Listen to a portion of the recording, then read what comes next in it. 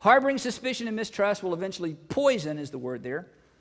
Harboring suspicion and mistrust will eventually poison the culture of your organization.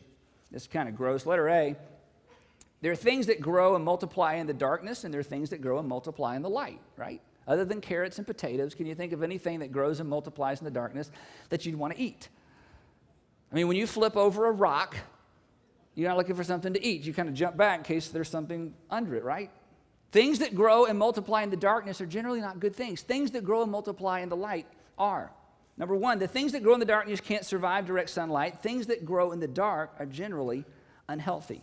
So consequently, so consequently, letter B, when you choose not to trust, when you choose not to trust and refuse to confront your concealed suspicion, your concealed suspicion grows and poisons your attitude.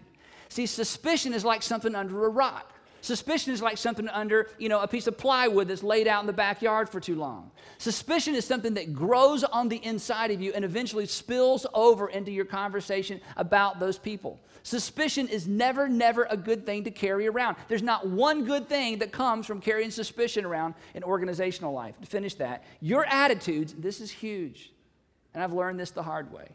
Your attitudes about the people in your organization are telegraphed. People no. People know. My leadership team knows the people that I have a hard time trusting, and I've never told them. I've never at a list. And by the way, just to make sure y'all know these people in the organization I have a hard time trusting. But you ask them. I've never asked them. I'm, it's too. I, but if you ask them, they tell you. You know what? High trust, pretty high trust. How do they know? Because I'm telling you, I don't care how careful and smart you are. Your attitudes get telegraphed through the people that work directly with you, and suspicion and a lack of trust gets telegraphed. People know. It's not really a secret. You've never talked about it, but it's not really a secret. And the longer you carry the secret, the more it grows and the uglier it grows. And then by the time you're ready to talk about it, you talk about it with a little bit too much energy. Letter C. That's just a nice way of saying you're just mad. Letter C. The consequences, this, this, let me look up here a second, okay? I know this is a whole lot. See, in church world, we, we got our values so screwed up. We have confused sensitivity with dishonesty, okay? We think we're being sensitive, we're being dishonest. We think we're being kind, we're just not being truthful. If you're carrying and harboring suspicion about somebody that works with you on your staff and you've never talked to them because you're trying to be sensitive, you're not being sensitive, you're being dishonest. You are poisoning your culture because that stuff gets telegraphed. It just does. And things that are brought out into the light generally lose their power and they lose their ability to hurt your culture. Number one, the consequences of confrontation are tangible. Excuse me, letter C. The consequences of confrontation are far less severe, is the word there, sorry. The consequences of confrontation are far less severe than the consequences of concealment. We think it's the opposite. We think that by keeping it concealed, that, you know, if I talk to her about it, that she's going to blow up. If I talk to him about it, he's liable to quit. We're so afraid of the consequences of being that transparent. But the consequences of concealment are far worse because that's what poisons your culture. Honest confrontation doesn't poison a culture. Transparency about what happened and didn't happen doesn't poison your culture. It's awkward. People cry. People lose their temper. People go home early. You know, I mean, there's it's lots of emotion, and some of you that just stuff kind of scares you to death, and confrontation freaks you out. But the consequences of that are far, far, far less severe that I'm just going to carry around my suspicion because unconcealed suspicion is poison to your soul and it gets telegraphed in the organization. Number one, the consequences of confrontation are tangible, immediate, and impact only a few relationships. The consequences of confrontation are tangible, you see it, they're immediate, we had that conversation, and they impact only a few relationships. Number two, but the consequences of concealment are intangible.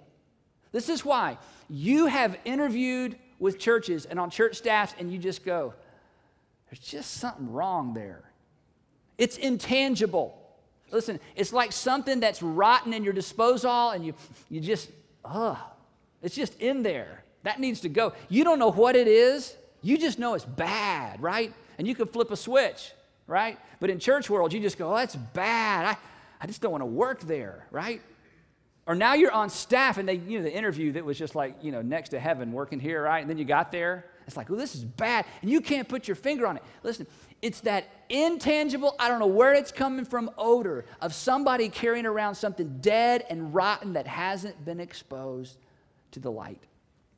The consequence, number two, of concealment are intangible, long lasting, and they can impact every relationship in your organization.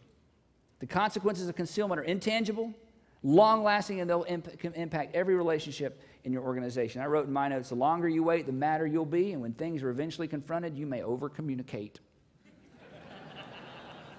Anybody here ever over communicate? You know what I'm talking about? Yeah, yeah. All right, letter D. As leaders, we must learn, and that's the key word there. As leaders, we must learn to fear the consequences of concealment more than the transparency of a culture built around trust. Last page conclusion. Listen to this. You've preached on this passage. Do you have this in your notes, the Matthew passage in there? Yeah. Therefore, if you're offering your gift at the altar and there remember that your brother has something against you, leave your gift there in front of the altar and first go and be reconciled to your brother. Then come and offer your gift. In other words, before you worship, make things right with your brother. we don't just worship, we're the ones who create the environment for worship, right? Whether it's kids or adults, we're not just worshipers. We create the environment. We lead worship. If this verse is relevant for somebody who's just coming to church and mad as heck as the guy, you know, and then the Bible says, okay, before I come in there and worship, I got to go make it right. If this, is, if this verse is relevant for just random people out in society who have something against somebody, what about a church staff? I mean, can we sincerely and authentically create, you know, incredible, you know, relevant, you know, irresistible environments of worship? when we have something, not just against our brother out there in the neighborhood association, because, you know, he wanted to build a pool in the front yard, and we're like, oh, I can't do that. I'm a big deal, but I go to your church, and, you know, all that kind of stuff, you know. It, it, or he, she fired, he fired your daughter, but, you know, he's a deacon, and you can't fire the pastor's daughter, you know, all those things. We, oh, come on. If, if we work on a church staff together, and we have something against each other and we're concealing it and we don't want to talk about it we talk to other people about it but not them i mean is that any kind of invitation for God to bless what we're doing or to be a part of what we're doing? I don't think so. You don't think so. We know better. So, the beginning, the beginning of great staff, the beginning of great culture is making these two decisions. I'm going to choose to trust you, and I'm going to choose to be trustworthy. And when there's a gap, you'll hear about it from me before you hear about it from anybody else. And when what you experience is not what you expected, hey, we're going to have a conversation, and I'm inviting you to come talk to me. In fact, please don't sit on it. Please don't bury it. Please don't talk to just let's just have that commitment. Let's just have that decision between the two of us. Years ago, um, Randy Pope came and spoke to a staff at, a staff meeting. And he said this Randy is at Perimeter Church, not too far from here, and I love Randy. He's been a mentor to me for years. He said this to our, our had a little group of staff. He asked this question. He said, Are the relationships around this table are the relationships around this table worth exporting to the rest of the congregation? That's a good question. Are the health and the nature of these relationships, is what's going on between you as staff members, is this what you want going on between the people in your congregation? And if you've embraced trust and trustworthiness as a core value on your staff, then the answer is yes, because you can pretty much survive anything if that's the case. So at the end of your notes, I wrote a few. Uh, questions for evaluation. And then after we do this, we're going to go into a time of communion where we can really evaluate. Here's the questions. Number one Are there people in your organization you have a difficult time trusting?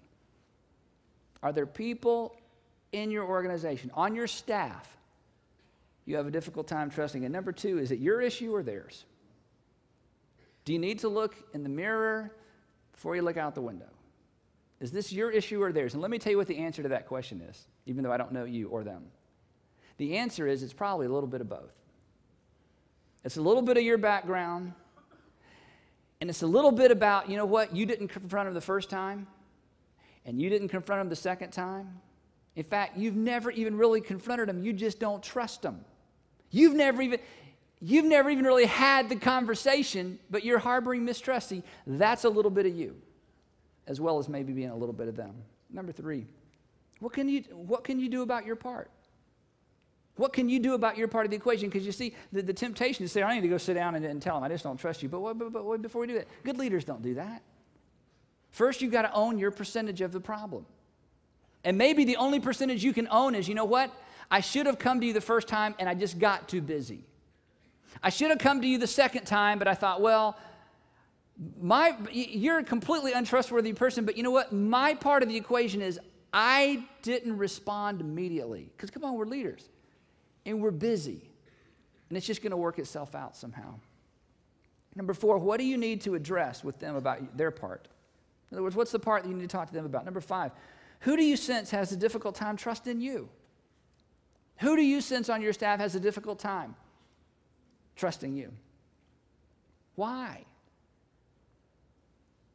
And what can you do about it? I'm just telling you. I think if we could get this right as church cultures, contemporary, traditional, bright, dim, quiet, emergent, uh, you know, you know what? I, I'm just convinced of this. Outsiders, unbelievers, unchurched people would, would get amongst us and they go, I want that kind of relationship. I would love to work there. I would love for my wife to work there. How I wish we could create that kind of culture where I'm, I'm just telling you, if we could just get this right. And again, I don't think this is 401 or 501. This is just basically love one another. Oh, brilliant idea. Who said that, you know? Let me close with reading you this. This is in my notes, it's not in your notes, and then we'll, this is just what I wrote. We're a group of imperfect people who've been selected by God for a very important enterprise. Our success does not hinge on our perfection. We can survive mistakes.